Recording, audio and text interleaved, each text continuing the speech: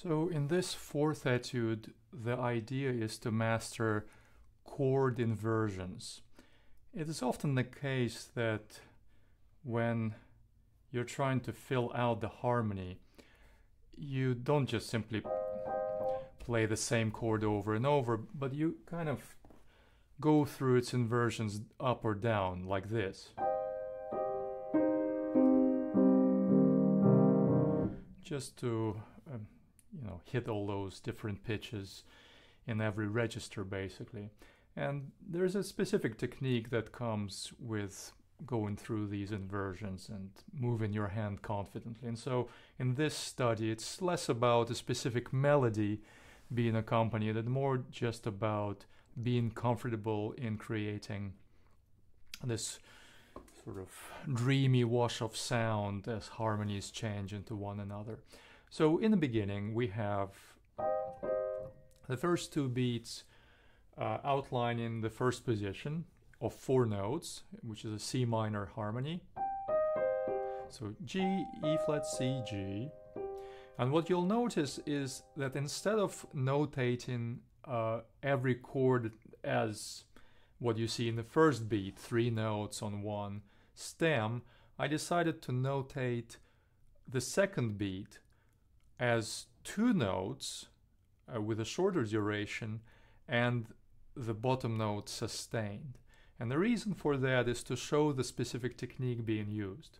So when I play this passage, I start in this position, all four fingers ready, with pedal, and then I go to beat 2. Of course, the pedal is doing the legato connection for me. But at this point, I'm about to play this chord, the inversion of an A flat major triad, E flat, A, uh, A flat, and C. And you can see that if I anchor the thumb on G and go over it with the long fingers, I can quite comfortably find the necessary notes without having to look down and actually guide the fingers with my eyes. So, one more time. Right? So that will be the first position shift to practice. Stay and put on G and shifting the long fingers over without letting go of G. Right, you're ready to play the third beat and you're freezing to check that you're in position.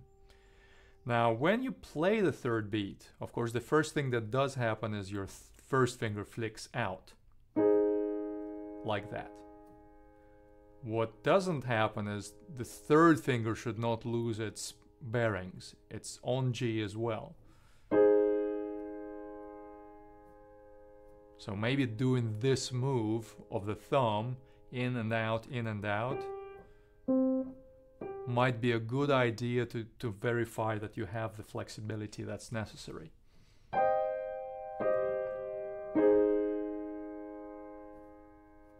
There it is. And then you continue to beat 4. Very quickly, what happens is, with the pedal, which helps you with throughout the study, you have to reach over. Now notice, I'm not letting go of C quite yet. I'm trying to find the B flat with finger 2, as well as maybe um, put the fourth finger on D, maybe almost reach F with finger 5. Very stretched out position.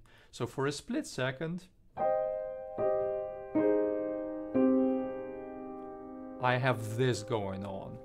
The pedal has this nice dreamy film music like um, aura resonance and I'm about to find my next harmony in the, in the second measure but I'm holding onto the C as my guide because that way I can quite comfortably get to feel at B flat again without having to look down the second finger is quite comfortably reaching the B flat. Now if you've got a smaller hand, again, I would say as you reach, you will find that the, sec the first finger has to let go of the C. But as long as you're trying to connect, see that legato slur, from C to B flat, you will find the B flat with the second finger and the other fingers as well.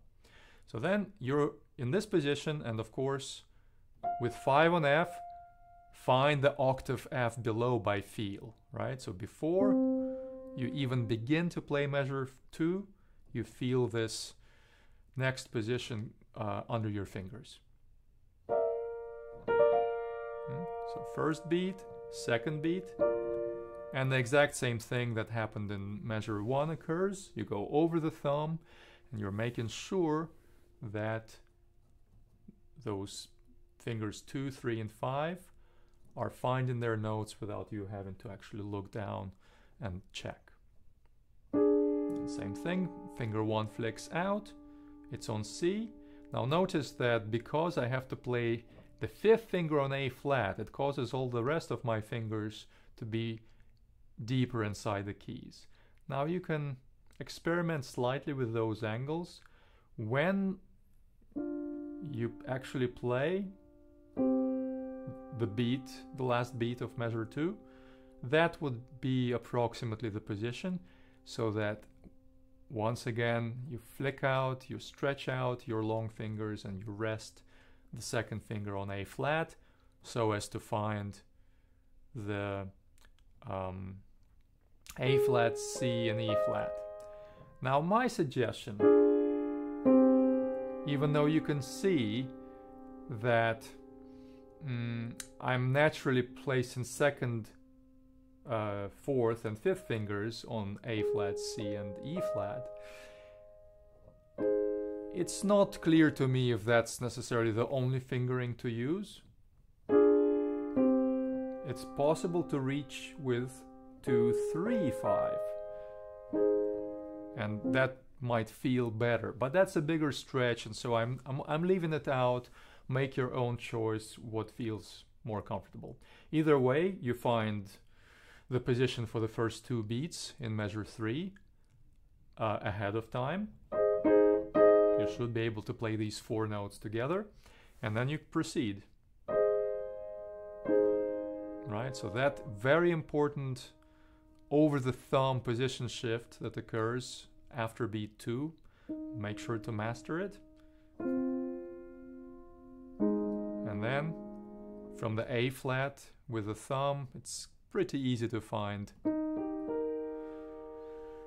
the first chord of measure 4. And then, of course, you pull the thumb in and you would move the fifth finger over to A flat for beat 2. But the same thing happens. You go over the thumb for beat 3. As soon as you play beat 3, thumb comes out. And then as you play the thumb, you get ready for measure 5. So let's kind of review the whole thing.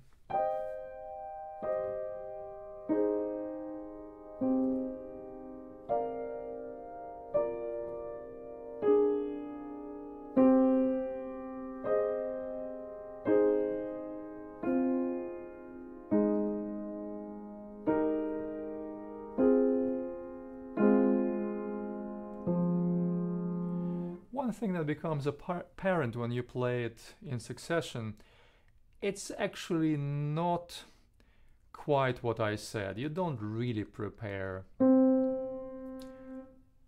the position for the first two beats of every measure except for the first.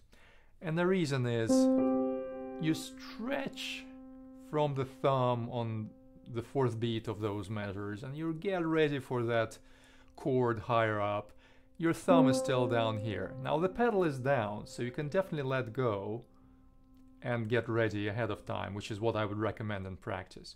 But in performance, what you'll probably find yourself doing is you're holding the, the note with the thumb, you're playing the chord on the downbeat with fingers 2, 4, 5, 2, 3, 5, whatever, and then you pull the thumb in right away. So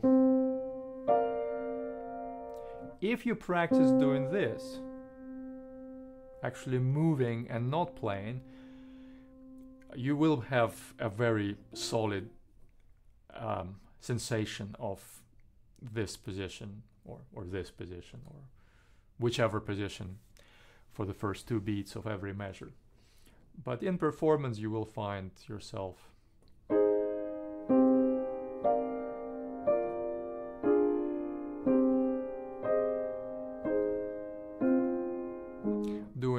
like this.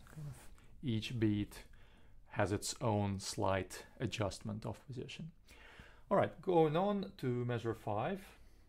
Now we're going up instead of going down. Here, there are two ways to reposition for beats two and three. You either pull the thumb underneath to find the D and then flick the rest of the fingers out.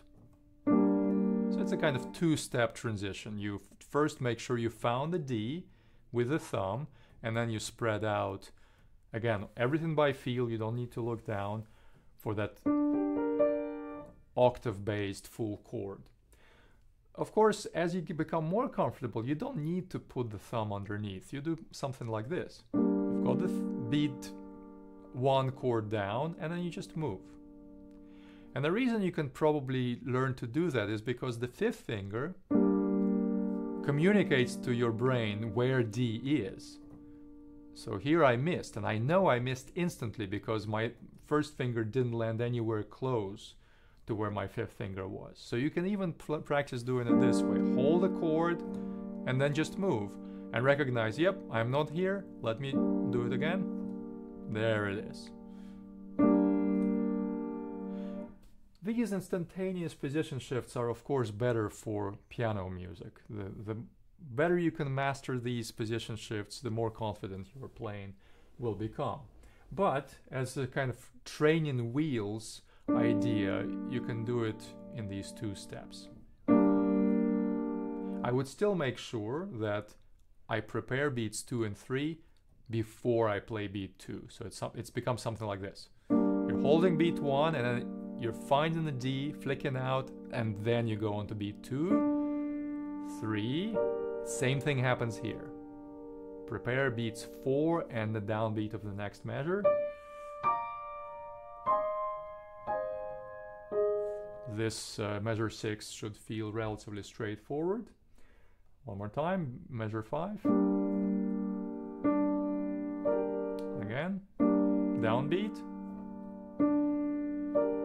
right? And then eventually, I think if you do this two step position shift, you can probably just go for this and just do it, do those two steps very quickly together. Right? It's because the idea is to feel comfortable with this next position. And then, of course, this position with finger four there.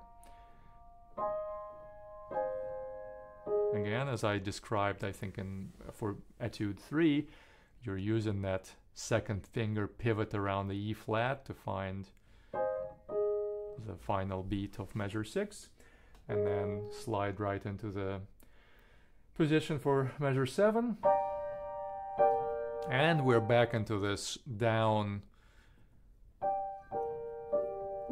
downward cascade of inverted chords and you use the bottom note to find your next inversion. And then reaching up for measure 8 and in instantly finding all four notes. Now here in measure 8 you know you can notice that there are basically two four note chord positions. The first two beats last two beats. But the transition between them can also be a two-step procedure. You get to beat 2 and then first you pull in the long fingers followed quickly by the extension of the thumb. And again, do that before you go into beat 3. And then there would be the return to measure 1. So this is ideal, right? Go in immediately to the new position. And if you can do it, great. But if you feel there is something lacking in confidence, do it in two parts. Get to beat two and then instantly do this and this. Beat two followed by first part, second part. And then you go back to the beginning. Uh, when you go to the second time bar, so in this case measure 9 you instead of going to measure 5 chord, you go to G flat major. But the same idea occurs. You shift to the new position for beats 2 and 3. And then you have to do a very quick position shift. What I find makes it quite easy is the fact that the shape under your fingers is identical. It's simply shifted up an octave. So you should use that feeling as a guide. One more time. Beat 1 of measure 9 and then find beat 2 and 3 before you play it. Then beat 2. See, I know instantly without looking down that I've I did not land in the right position. So one more one more time. Freeze on beat 3 and go for it. You'll instantly find, yep, that was wrong as well. One more time, beat 3. Now, do it in two parts, right? You can try this two part idea. Bring the first finger underneath to where fifth finger is and then extend the rest of the hand. And then continue to play in the end of beat 3 and then beat 4. And then you adjust for measure 10 there. One more time.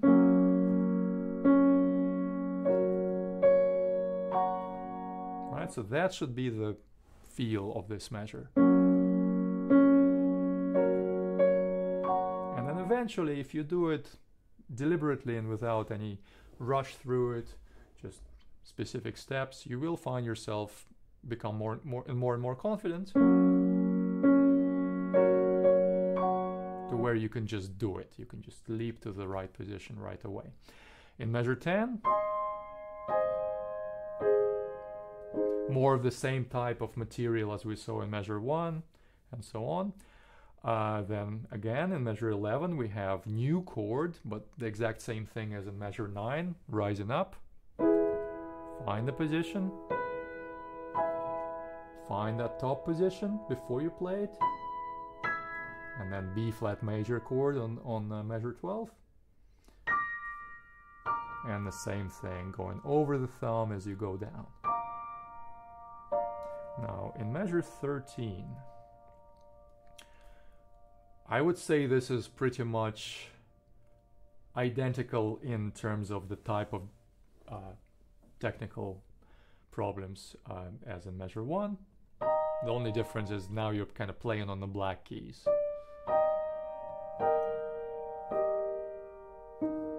Stretching on top of the black keys, but same principle. Find the C by feel. When you stretch from the last beat of measure 13, find the C with finger 2, find the E flat with finger 3, and the fifth finger is kind of reaching as far as it can. And then readjust. So practice that readjustment of position for beats 1 and 2 before you play them. Right, so measure 14 beats 1 and 2. And then find beat 3 before you play it. And then flick the thumb out. Now I don't recommend holding on to th the, th the three notes of uh, beat 3 of measure 14. No need to do it. As soon as you play them, pivot around the E flat with on the second finger to find the A flat with the thumb. Don't go too far, there's no need to do that. Just enough to find the tip of this note. So.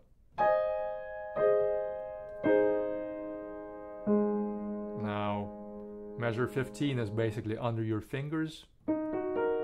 E flat minor harmony.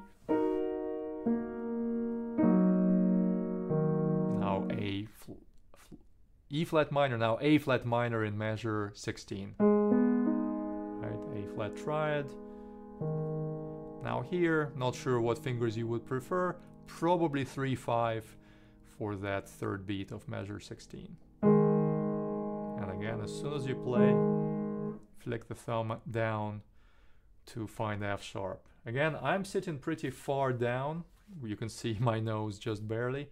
I would go even further now. I'm right across from F and that makes mm. playing the F sharp with finger 1 quite easy. And then measure 17. We try to return back home, so we go like this. Thumb under to find the G, and then find the rest of the G major chord for beat 4. Keep shifting the second and third finger to find the next chord. Keep doing it. Now you're having to do that famous slide, diagonal slide inside the keyboard after beat 4 of measure 18 to prepare for beats 1 and 2 of 19. Keep reaching and shifting. That's a little bit uncomfortable, I guess. If you can, stay with the thumb on this black-white border line. If it feels very uncomfortable for your hand, maybe it's a little smaller and playing that fifth finger diagonally, trying to hit the F cleanly is hard, well, then of course do this. Back out, and then back in. But if you can stay in, if your hand is large enough, measure 20, stay inside the keyboard, makes it much easier to get to the last two beats of that measure before DC al Coda. And of course, I would recommend highly practicing positions as blocks. So starting in measure, uh, well, let's start at measure 17. First two beats, then find the next beat, three and four. Play that block. Measure 18. Next. Measure 19. Keep going. Keep going. Maybe stay inside, maybe do this and back inside here. Make sure those blocks feel comfortable. You go back. Then finally, um, let's see, how does this work? At the coda sign, we jump from here. We're holding the F. And we're about to go to the coda. There it is. Stretch the long fingers out to C, E, G. And go for it. Pull the thumb in a little bit. Same thing as before, you go over the thumb to find the next inversion of this chord. Pivot on the second finger to find the G below. Now shift your position.